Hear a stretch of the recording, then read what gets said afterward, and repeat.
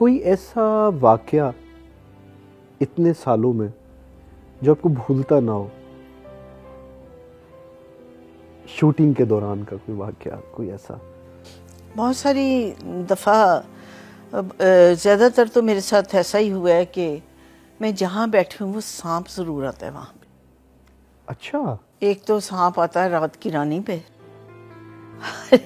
मेरे साथ सांपों का बड़ा बड़ी दफ़ा मिसहैप्स हुए। अच्छा। और थैंक गॉड के मुझे काटे बगैर चले गए उनकी मेहरबानी है। और इन्होंने मेरे साथ ही ये कोऑपरेट किया। और मुझे कुछ नहीं कहा। एक दफ़ा तो श्रीलंका में बैठी थी तो बेंच पे। तो आराम से ऐसे वो रेटलिंग स्नेक पैरों से निकल के चला गया। उसके बाद फिर मैं एक और आउटडोर गई हुई थी अपने हस्बैंड के साथ। वहाँ बैठे हैं हम पत्थर पे। मैंने पत्थर उठाया कि मैं उस पर बैठूँ। तो उस पर भी आराम से एक जलेबी जैसा सांप था। फिर उसके बाद मैं शो करने गई थी मस्कत। तो वहाँ पे हम लोग नीचे मैट्रेस डाल के अपने हस्बैंड के साथ में हम लोग सो रहे थे। तो मैं मेरी आदत है सुबह उठ के ना घड़ी देखनी। अच्छा उठती ही आप घड़ी देखती हाँ। अच्छा। तो ए, मैंने देखा कि मैंने नींद में जाके ना बैग खोला घड़ी निकालने के लिए तो मैंने देख लिया सांप है लेकिन फिर मैं घड़ी देख रही हूँ। फिर मुझे याद आया ओ ये तो सांप है। ओ माय गॉड फिर मेरी सारी नींद छीन उड़ गई और मैंने अपने हस्बैंड को जगाया। मैंने कहा सांप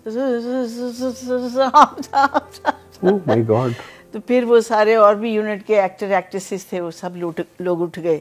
और उन्होंने वो सांप को पकड़ने की कोशिश की वो मेरे टैची केस में चला गया टैची केस बंद कर दिया बाहर लाके उसको निकाला और फिर स्टिक पे उसे उसके नुमाइश की नुमाइश गई। की गई। उसको डिस्प्ले किया गया कि जी ये स्नेक है।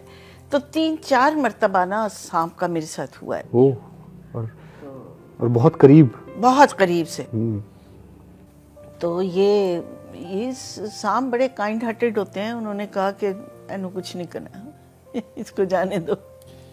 लोगों में भी ये फितरत होती है। लोग की ये फितरत नज़र नहीं आती।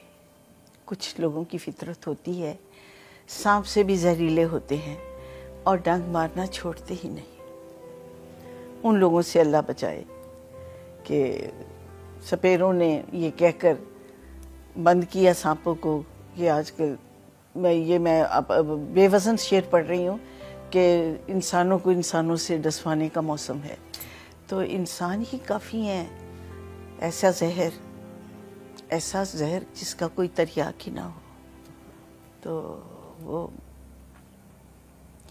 तो इसलिए सांपों से डर तो लगता है हर शख्स को डर लगता है लेकिन इंसानों से भी डर लगता है।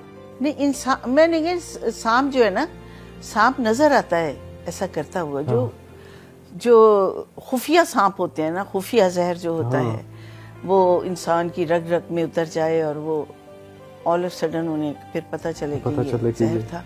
और ऐसे जहर कई किस्म का नुकसान करते हम्म। इसलिए। रोती हैं हाँ जब मैं हज के लिए गई थी तो खाना काबा में बैठकर इतना रोई इतना रोई मुझे पता ही नहीं मैंने कितना रोई थी। फिर उसके बाद मेरी ज़िंदगी से आँसू कम हो गए वरना मैं बहुत रोती थी। अच्छा।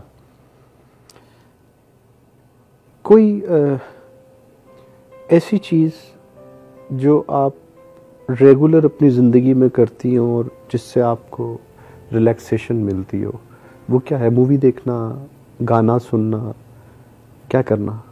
मैं नहीं आजकल तो कभी किताबें देख लेती हूँ आजकल तो हर शख्स मोबाइल पे बिज़ी होता है। किसी शख्स के पास कोई ऐसा टाइम नहीं। बहरहाल ये है कि मैं सुबह सात बजे ब्रेकफास्ट करती हूँ। नमाज़ के बाद सात बजे या सवा सात। तो उसके बाद मुख्तलिफ़ किस्म के काम कुकिंग में हमेशा खुद करती खुद करती हैं आप? और मेरा बड़ा दिल है कि मैं आपने जिस तरह बताया मैं आपके हाथ का खाना ज़रूर खाना ज़रूर बिस्मिल्लाह भी आपने चिकन कटलेट्स नहीं खाए पोटैटो हाँ वो अच्छा ये आपने बनाए? जी, जी, अरे वाह वाह वाह वाह। बहुत मज़ेदार। हाँ पाए बहुत अच्छे बनाती हूँ मैं बिरयानी कोफ्ते चिकन शैशलिक ये कुछ चाइनीज़ नूडल्स वगैरह chicken almonds chicken with cashew nuts अरे वाह क्या बात है। तो देसी खाने भी आलू मेथी बड़ी अच्छी बनाती हूँ कीमा बड़ा अच्छा बनाती हूँ और बेवकूफ़ बड़ा अच्छा बनाती हूँ। कभी बने बनाए मिल जाते हैं। कैसा लगता है आपको खाना खिलाना ज़ाहिर सी बात है जो खाना बहुत अच्छा बनाता है उसको खिलाना बहुत अच्छा लगता है। एक्चुअली खाना जो बनाना जानता है ना वो खाना खरीदने से लेकर सर्व करने तक उसके ही शुड बी केयरफुल और उसको इस चीज़ में कंसंट्रेट करना पड़ता है। हम्म, हम्म। क्योंकि बाज़ अवत सालन निकालते हुए सर्विंग डिश में डालते हुए कई चीज़ें ख़राब हो जाती हम्म। तो ये सब चीज़ें ना मैटर करती हैं कि आप कितना केयरफुली बना रहे हैं। हजूम पसंद है आपको या अकेले रहना?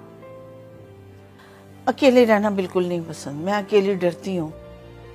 को मुझे खौफ आता है। पता नहीं क्यों अकेलेपन से खौफ आता है इसलिए कोई ना कोई मैं आ, कोई शूट वगैरह पे जाऊँ कोई मेरा कोई प्रोजेक्ट हो आ, ड्रामा कर वगैरह करने के लिए तो हमेशा मैं मेट को साथ रख साथ ऑलवेज बड़ी एक इंस्पिरेशन ली है मैंने आपसे और वो ये कि आपने इंडस्ट्री में रहते हुए भी अपने बच्चों को वो बड़ी खूबसूरत तरबियत दी जो कि शायद आप ना चाहते हुए भी कहीं इग्नोर हो जाता है। ये ये जादू कैसे किया आपने? ये जादू नहीं। इसमें कोई ये कोई रॉकेट साइंस नहीं है। और देखें तो है भी because this is very difficult you know responsibility ख़ास तौर पे बेटियों के। इट डिपेंड्स कि आप आपके बच्चे आपका कितना कहना मानते हैं। दो बेटियों की मैंने तरबियत की और अल्हम्दुलिल्लाह बड़ा अच्छा फीडबैक आया ससुराल से यानी कि तो बाकी ये है कि घर का माहौल उस तरह का बना लिया जाता है कि वो उस माहौल में ढल जाएँ। अब जैसा जैसा एटमोसफियर होगा सर्दी होगा ये कमरा वार्म है इस वक्त तो इसको वार्म किया है तो ये हमें कंफर्टेबल लगता है। हम्म। तो उस तरह का माहौल उस तरह का सारा सिस्टम बना लिया जाता है ताकि उनको पर्टिकुलरली ये नहीं कि भाई ऐसे करना है ऐसे आप ऐसे करके दिखाएँ तो उसको फॉलो करेंगे। और वो यही उनकी तरबियत है।